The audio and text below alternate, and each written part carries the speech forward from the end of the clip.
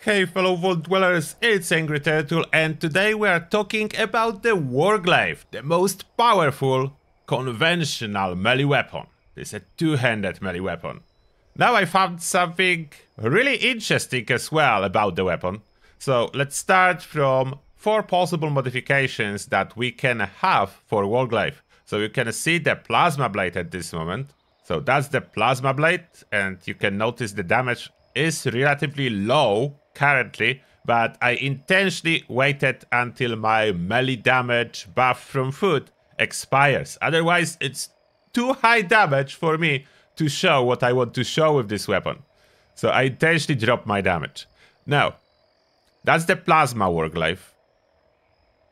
We have as well Freezing Warglaive with Cryo Effect, 60% slow on the target for 5 seconds, which is really good.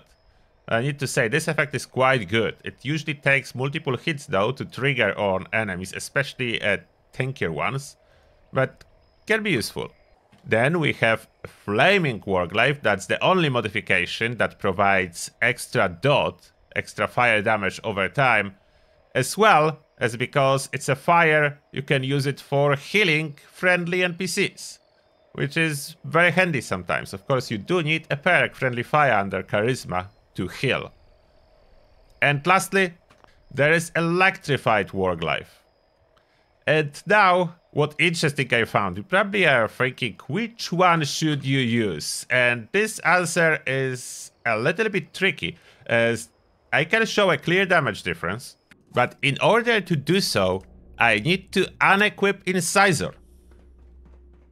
And here I will share this finding with you and then I will show you what happens after I put Incisor back. So this Super Mutant, that's the amount of damage with Plasma Blade. It's about under R of the name. You need to look at the name. The damage numbers are not enough. Then if I use Electrified, it's a tiny bit less, which is surprising for me, as last time I was testing, so Electrified was doing the highest. Uh, here it's slightly bit less. Now, if I switch to flaming, again, flaming, and you can see much less damage with a flaming one. Now, the cryo blade, freezing warglaive, and again, about the same damage as the flaming. That's because those super mutants have the same resistance to any elemental damage. And both almost the same, so from the Warglaive Plasma and Electrified, almost the same. But now, let me equip back the Incisor perk. So I'm equipping back the Incisor perk. And now, starting with Plasma that was doing the highest, almost killing a Super Mutant under S. The health remaining is under S on the Super Mutant name.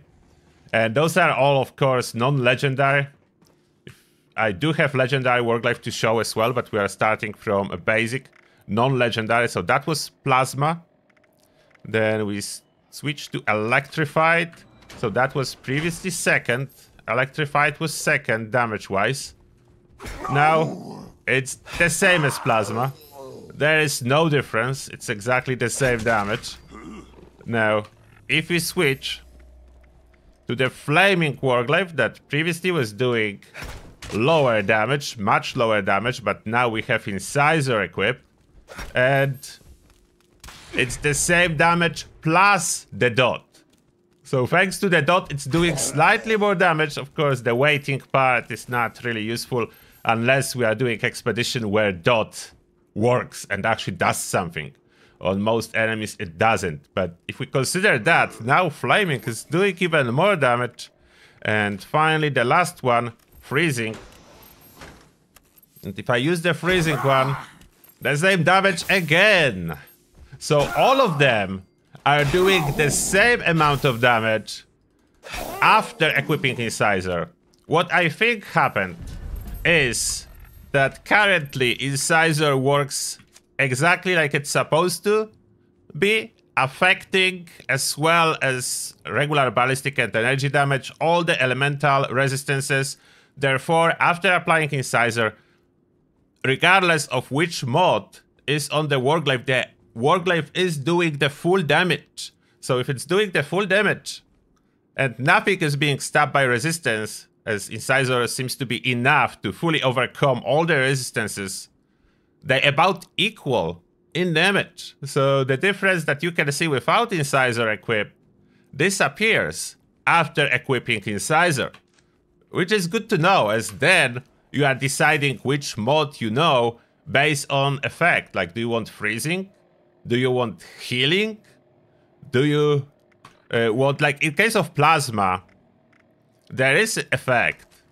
It gives plasma crit effects, which in practice means that sometimes enemy change into this green goo and green goo will drop extra radioactive material that you can pick up. So if you want to farm for extra scrap like that, it is actually useful. So Plasma Warglaive is not bad. And Electrified, unfortunately, in this case scenario, I cannot recommend. There is nothing really good about it anymore. Apart from looking different, there is no special effect to it. Nothing. It's just the same damage as other mods. Different look, no special bonus. So I would choose between freezing, flaming, or plasma blade. And now how well the legendary will perform. I do have instigating, weapon speed, 1 endurance, Warglaive currently modified with a plasma blade. And without using, at this moment, without using any food, uh, let me show you how well it works. Oh, there is a super mutant up there. Especially if you use in VATS about the stealth, if I use in VATS and I even do this little dash forward, it still counts as stationary for the chameleon effect. So chameleon, as I'm currently running, chameleon of the mix, four pieces of chameleon and one unyielding. So chameleon works. If I stand stationary, then the dash in VATS do not interfere with chameleon, which is really handy for playing stealth melee and Warglaive is the best weapon for stealth melee. Like, look at this power. The damage is absolutely insane. If the explosion triggers on top of that, that's crazy amount of damage. And that's still without the food. Now, I will add the food, as I do have a melee boost food. So, tasty Yao roast. Now you can see my damage jumps up to about to over 600 over 600. I should probably add back the perk that I took, which is Adrenaline. I ran rank 1 as I don't have too many cards. And now, you will need to see the damage numbers it will die, but it's like 1200. 1200 damage. Even more if VATS triggers explosion. So, the damage is absolutely insane with the Warglaive. And now let me find some more tanky enemy to demonstrate you the damage potential of this weapon. And I tested on bosses too. It is doing quite significant amount of damage. So for the more tanky boss, we are heading for Salmon's Pond. As there is a Super Mutant Behemoth. So running down the road and I will show you the damage on Super Mutant Behemoth. What do you think? How much does it take to kill it? With instigating Warglaive. Of course, the instigating effect only works for the first swing, and then it doesn't anymore, but even this one swing helps a lot. And I have follow through legendary effect that hopefully will be able to trigger on time.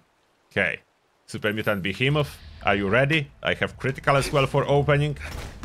Two, three easy hits, not detected. He didn't, he didn't do anything. He did, he did not. Because I was fully invisible with this chameleon. This chameleon I really like. The four chameleon pieces, one unyielding.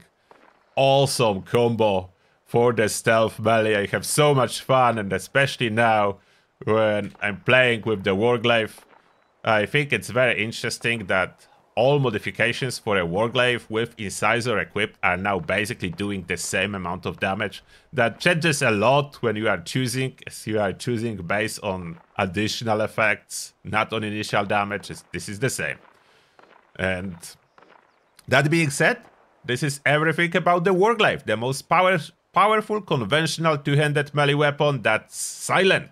So you can use it with stealth. And as well, the sound effects a little bit different with different modes. I like the plasma for the sound effects when you are hitting a target. When you are not hitting anything, it's worse, but if you are hitting a target, it's a little bit more plasma effect. Oh, I didn't know you can do that. I I changed a corpse into a goo pile after the fact. Okay, I was I was not expecting that to happen. So it is possible to change them after the fact? Okay, cool. I'm guessing that's a second new thing. And that being said, this is everything for this video. I hope you enjoy it and I hope to see you in the next one.